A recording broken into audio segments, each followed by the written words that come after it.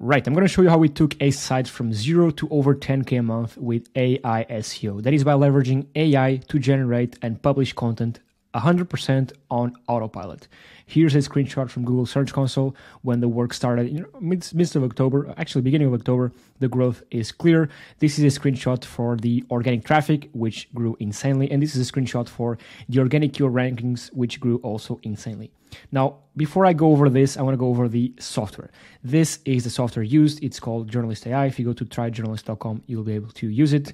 But before I show you how it works and all this, I want to show you how the articles look like because I think that's the biggest thing here is to show you what the output is like. So if you just go here to my history and just select this one, this is an article, or these are a few articles in the gardening niche. So all this is done with AI. The in-article images, right? The structuring, the internal links, the external links, even the videos that are relevant to the article itself, right?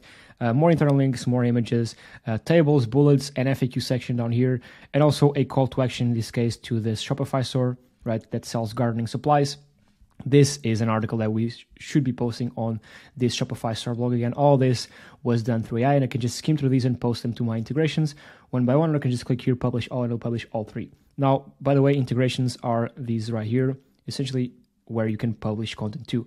WordPress, Shopify, Ghost, Wix, Webflow, Blogger, Zapier, or an external API. Now, you can do this manually, or you can just click here, Autoblog, and set up an Autoblog, which was what this person did uh, just go here. I won't do it right now. I'll show you what you can do with this. Essentially, you can select, select sorry, how many blog posts you want to publish every single month, week, day, 12 or 6 hours. So essentially, what you're doing here is you're connecting Journalist AI with your website right here. And every single, uh, in this case, day, uh, Journalist AI will generate, right, plus publish 80 blog posts.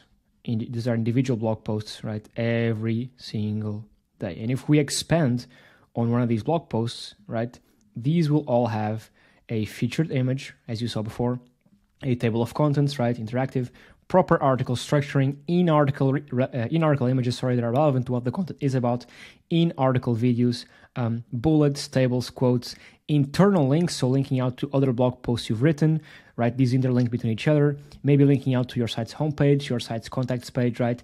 External links, so linking out to other authority sources in your niche. So, for example, if is, this article is about finance, linking out to uh, Investopedia, uh, TechCrunch, Bloomberg, all these um, finance authority sources. And down here, also a call to action, as you saw before, to either your product or service. So, this whole paragraph will be um, will be in the context of the article as a whole, right? As well as the anchor text and the link that link out to your product or service. So all this, again, all these articles will be like that. And also, generally in this case, sorry, 80 every single day, but you can choose the frequency you want. Also, Journalist indexes the content in Google for you just by clicking here in indexers. You can set that up. Plus, it does the keyword research for you. So it tells you what keywords you should be producing content for. Indexers right here, just set it up real quick, super easy. But here, the keyword research, I won't do this right now, and I'll show you how it works for this um, blog right here the gardening niche. You just click this one and you give it the name, right? The site your country, language. It takes this plus the competitors and comes up with a list of low SEO difficulty keywords, so keywords that are easy to rank for in theory, and that have some decent monthly search volumes. And you can just select the ones you want, right? Like so, and produce content around them, right? So again, Journalist AI does the keyword research, does the content generation, content publishing, and indexing, right? And that's exactly how this person was able to achieve this. This is in the nightlife niche. So essentially, the deal they had was he'd send leads to these guys' uh, sites. They had different uh, events at different uh, weeks, and they would pay him a commission per how many people he'd get in to buy the tickets um, on the on that on that specific, specific event. Now, one thing really cool here is if you go to generate articles, there's all these modes, simple mode, you can see the URL, the description, select how many articles you want, select the language, you can generate content in over 150 different languages. Click generate. There's a titles mode where you give it titles to generate the content. There's a keywords mode, but the good thing about it is the advanced mode, right? This is where the fun things happen, right? Because this is where you can have a lot more control over the output of the article. I'll, I'll run through this real quick. The first step right here is you choose choose the generation mode. You can select a brand. So if you connect your brand, just go here. Sorry, if you select the brand you want, you have to create one first. But when you create the brand, you do so by, by going here to brands. You're essentially connecting your brand that has multiple assets associated with it, whether it's your website, your LinkedIn page, your YouTube, uh, some text documents, some audio documents. All these are brands assets, right? And you're connecting your brand with Journalist AI. So now Journalist AI knows as much as you do, you being the founder or the owner of the brand, uh, and it's able to produce non-generic brand-tailored content with your brand's mannerisms, brand's tone of voice, brand's images. So it's, it's pretty powerful, right? Uh, second, the content again you can select from over 150 different languages. So if you're producing content for or targeting international markets, this is very good, right? You can even have, let's say you have a Shopify store and you're selling to the whole world.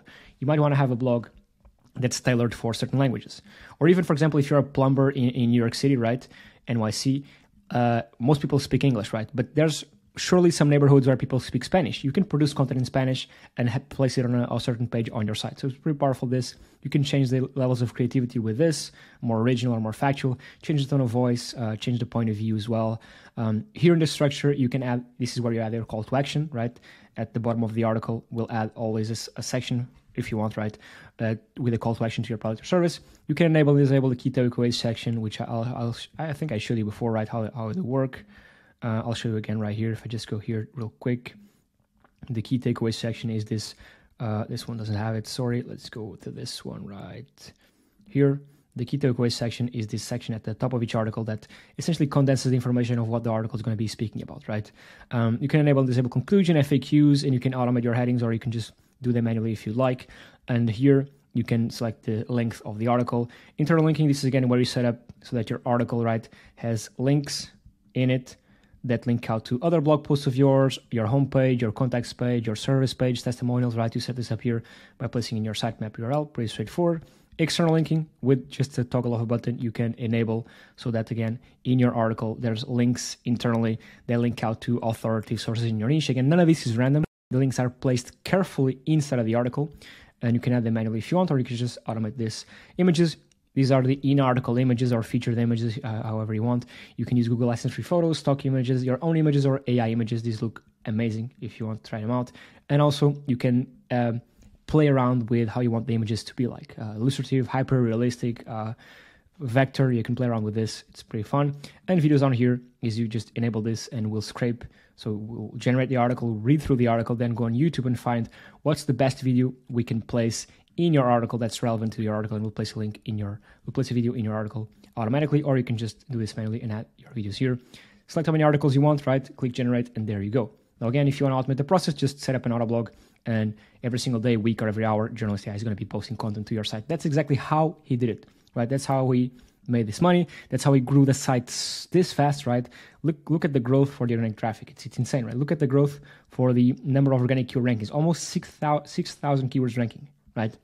Super, super interesting. Now, one thing you have to take into account is that don't trust these figures a lot. What do I mean by this? I mean, these figures are great, they're high, but this is just a number, right? Because you, you could be ranking for almost 6,000 keywords, but if they are not buyer intent keywords, they're not pointless, but they're very, they're worth very little. What do I mean by this? Most of these, most of these keywords were buyer intent, not all, of course, but let me give you an example. Let's say, for example, I have an iPhone repair, repair shop. I repair iPhones. I want to get people in to repair their iPhones. I want to target buyer intent keywords. For example, how to repair my iPhone or where to repair my iPhone. I don't want to target keywords like, um, sorry, excuse me, let, let, me go over this again. I want to target, uh, target, target buyer intent keywords. So, how much does it cost to repair my iPhone or where to repair my iPhone? I do not want to target keywords that like how, because people searching for how to repair their iPhone, they want to do it themselves, right? But people searching for how much or where, they want someone to do it for them, right? And these are the keywords I want to target, buyer intent keywords, right? So with a grain of salt, I mean, this traffic, if this traffic is all non-buyer intent, it's not pointless, but it's very it's worth very little. So that's why I want to target buyer intent keywords, and I can do a video solely on that. But the the keyword monitors here do help. If you just go here, add your site, do all this, um, it, does help because it come up with it will come up with some buyer intent keywords, which is pretty pretty interesting. So yeah, that's essentially it. That's how we did it using AI, leveraging AI tools. And the reality is that if you're not leveraging AI, you're going to get left behind. And I often give this analogy right here of the stairs. Let's call up here success. Let's call it money. Previously, to produce content, you had to do it manually, right? You had to figure out, do the keyword research, figure out what you want to write about, then write the content. then figure out the best places to add links to internal links, external links, uh, then source the images, then add the images to the article. Do the same with the videos. I mean, it took so much, right? With a tool like this, with Journalist AI at tryjournalistai.com, you skip all these steps ahead, right? Because it does the keyword research for you automatically. It does the content generation, does the content publishing, and content indexation. And in the generation part, it sources you the images, sources you the videos, adds the internal links, adds the adds the external links, adds the tables, adds adds so much. As as the as I showed you before, right? The articles are rich in uh, features, right? So you skip all this line because it does it automatically for you, and because you're able to increase the speed at which you produce content, right? You're able to see much faster what works and what doesn't. So you're able to you're able sorry to iterate much faster, and that's the only way to success is iteration. So yeah, that's it. That's the video. Again, I'll leave a link for this software in the description. You can try it for free. Let me know what you think, and yeah, I'll catch you on the next one. Cheers.